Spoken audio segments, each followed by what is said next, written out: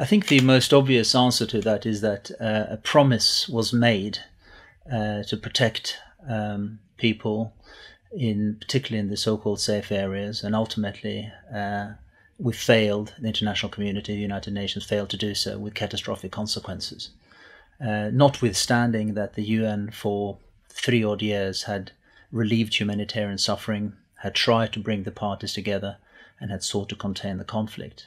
The ultimate test was really whether or not protection had been provided to the population as promised, and I think that's why uh, failure is is the right word to describe the the, the end result of the uh, uh, UN peacekeeping operation in Bosnia. Well, it's a very good question. I think clearly a great deal of soul searching took place afterwards. A number of reports were written, including a very thoughtful one by the Secretariat itself into the collapse of the safe areas.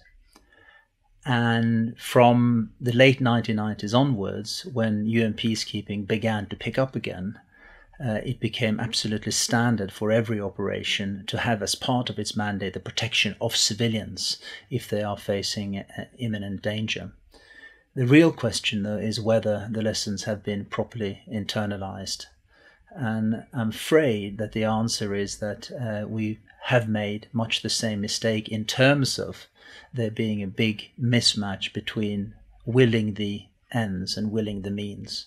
And I think this is very evident in places such as the, Democratic Republic of Congo, where the UN now has a very large operation which has struggled with trying to protect civilians without adequate mandate, without adequate resources, very much reminiscent of the kind of challenges that it was facing in internal conflict in the former Yugoslavia. So it's a classic dilemma the international community is, is facing. It's easy to say that we will we will do something, we'll protect civilians. The question is whether the means to do that are, are provided or not.